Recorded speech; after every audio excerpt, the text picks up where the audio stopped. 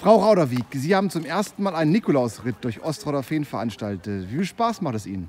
Wir hatten bisher super viel Freude. Also es fing schon am Vereinsheim an, dass da wahnsinnig viele Leute gestanden haben und uns zugewunken haben. Und ja, der ganze Weg von der Schifferstraße bis hierher hat ja, wahnsinnig viel Freude bereitet. Knabe im lockigen Haar,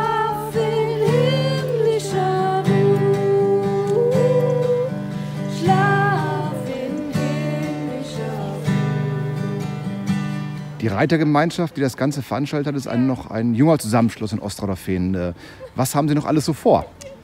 Ja, ich bin ähm, Pädagogin und ich habe vor kurzem die Ausbildung zur Fachkraft für tiergestützte Therapie abgeschlossen und absolviere auch gerade noch die Ausbildung zur Heilpädagogin.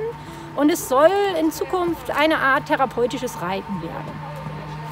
Seit wann haben Sie die Leidenschaft äh, für Pferde und fürs Reiten entdeckt? Oh, das war, wo ich ungefähr so sechs bis sieben Jahre alt war. Und ähm, wie viele Pferde haben Sie selbst? Sechs Stück. Und die Reitergemeinschaft, ähm, wie viele Mitglieder haben Sie zurzeit? Wir sind im Moment so zwischen 10 und 15 Mitglieder und es sind gerne noch weitere willkommen.